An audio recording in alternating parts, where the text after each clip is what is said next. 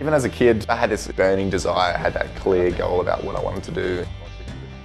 My name's Tom O'Neill-Thorne, professional athlete, professional wheelchair basketball player.